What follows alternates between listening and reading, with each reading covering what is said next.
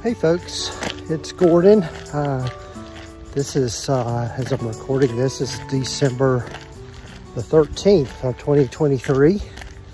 And this is uh, supposed to be the second episode or installment of uh, Love and Loss. And uh, this is a chronicling of my journey through grief and talking about what it's been like to be a caregiver and be a therapist and all of those things.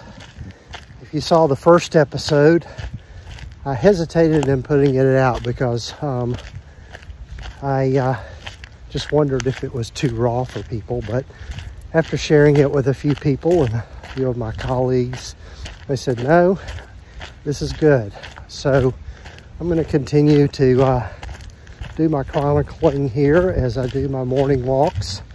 Um, part of my daily routine is I'm on a, it's a, yeah, I'm really fortunate in that I've got a beautiful place to walk.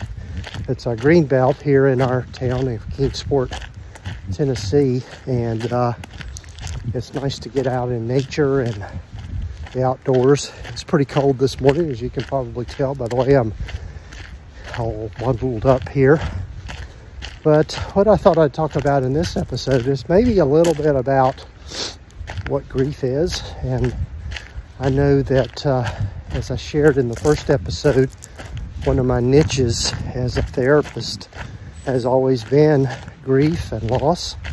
I um, got into uh, that niche um, really through, uh, as a result of my uh, previous career uh, after I graduated from college, you'll give away my age here, in 1983 at Mars Hill College, or it was, it's now Mars Hill University, I was uh, a psychology major. But my senior year of college, um, I got a job working for a funeral home. And I was uh, a night attendant. And that, that probably sounds creepy to people. And I've got lots of funeral home stories, but anyway, I wasn't sure what I wanted to do, but uh, when I graduated, I made the decision to go on to mortuary school and did that and uh, got the credentials and licensing to be a funeral director and also an embalmer. So, needless to say, I know a lot about death. Um, I know a lot about, uh, I know what happens to people after they die and know what happens to our earthly remains and all of that kind of stuff. So that plays into my own grief story a good bit.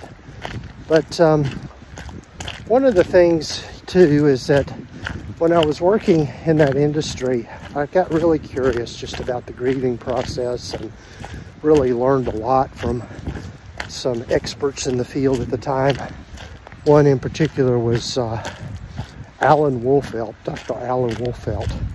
And uh, I don't know if it's still in existence, but he started uh, uh, a center in Colorado that was specifically for helping people with, I guess, really more complicated grief or complex grief. And so I learned a lot from him. And one of the quotes from him that has always resonated with me and stayed with me is grief shared equals grief diminished. And so that's part of the why behind why I'm doing this this series. I realize too that my everybody's grief is unique, and um, you know I know that there are some aspects of grief that are truly devastating for people, like for example, the loss of a child. I can't think of anything more horrific for somebody to experience. Or somebody that has witnessed a violent death of someone else. Uh, I think of our military veterans and all of those folks that um, have maybe put themselves in harm's way, law enforcement, EMS, firefighters, all of our public servants that uh, put their put their really put their themselves out there, um, and so they've witnessed a lot of death and grief and trauma, and I've worked with a lot of those folks along the years. But one of the things I know about grief and I'm experiencing this myself. My wife died, I shared in uh, back in November of this year, 20, November 22nd, 2022. And uh, she had a long battle with breast cancer and a brain tumor. And eventually in June of this past year, we started hospice care. And uh, she really beat the odds. I mean, she wasn't, wasn't supposed uh, to have lived more than five years. So we had this roller coaster ride of experiencing grief every time she would have kind of these near misses with her cancer. But um, one of the things about the grieving process is it's not something you get over. And I learned this from a colleague of mine. And uh, it is something we get through instead. It's something that we, all of us has to endure to some degree. In other words, we have to allow ourselves to go through the pain. Our tendency as human beings is, we want to avoid pain. And I get it. And I can share here recently when I've been experiencing incredible waves of grief that just show up out of nowhere just how painful it is. I can't think of any uh, human experience that is harder for anyone than grief. And um, yeah, and so if you're listening to this and you're grieving, um, give yourself permission to lean into it um, because that's the way we get through. Uh, to avoid it just creates more problems down the road and can lead to other problems, you know, grief that is not addressed or loss um, has a tendency to pop up in other ways through either addiction or through um, chronic depression, just health concerns, because it does affect us physically. And I'm, I'm feeling that myself. I've had like this constant kind of crud since my wife, since right before my wife died. And and I know part of it is it's just um, not been sleeping well, probably not been eating like I should, and certainly not drinking enough water uh, because one other thing in thinking about self-care with grief is that you do cry a lot and that is uh, something that is kind of a normal kind of thing. Um, and that's a way that we kind of take care of grief of that in that way and so drink a lot of water because you can get dehydrated really quickly. Um, the other thing is um, find people to talk to.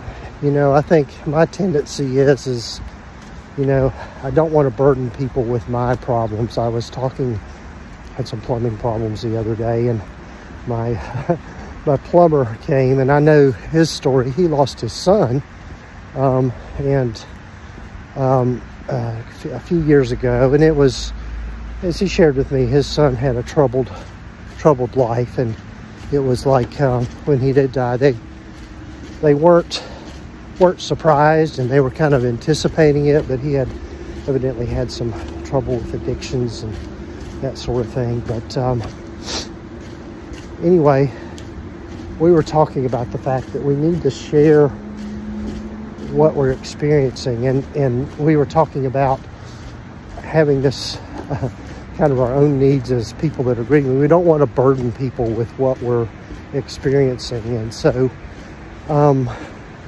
give yourself permission to talk to people because there are people that are willing to listen.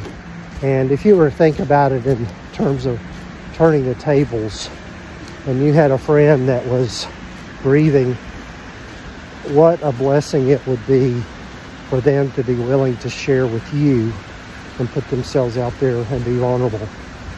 And so hopefully my sharing of my story here can be somewhat of a blessing to you. I know that sounds weird. Um, and I'm going to continue through this journey. So far this morning, I'm doing okay. Uh, as I said in the last episode, people asked me how I'm doing. And kind of my answer is I'm just doing. um, just going through the motions. And um, the other thing about grief is it puts you in a terrible brain fog. I just, oh man, I just go walk from one room to another and think, what am I doing in here? What am I, why'd I come in here? And so that's concerning to say the least that when that happens, but it's normal. It's part of the grieving process. And um, yeah, so thank you for being with me on this journey and hope to share more with you here and other morning walks. Um, and uh, thanks, thanks for being part of this journey. I know I said that already, but uh, yeah, just thanks for listening. Love to get your comments, love to get your feedback. Um, and also I'd love to, if anybody else out there is going through something similar, uh, I'd love to connect and share share our stories because uh, that is the way we get through it is we share our stories. And every time we tell the story about what has happened it takes on a new meaning. And um, it's our way of um, making sense out of the hole that is left. And that's what grief is is that our brain is trying to fill in the blank trying to make sense out of that um, that disjointing or that um, detaching, you know, because we're, you know, just thinking about attachment theory. When somebody dies or we go through some sort of loss, we have to detach. And so that's what causes a lot of our grief is the detachment. So take care, folks. I'm going to try to keep these short, try to keep them around 10 minutes or or so. But um, yeah, I'd love to hear back from you and um, we'll have more to come just on my journey of what it's like to be grieving a spouse and uh, what that's like. I'll probably share some more of the backstory here in future episodes. Take care.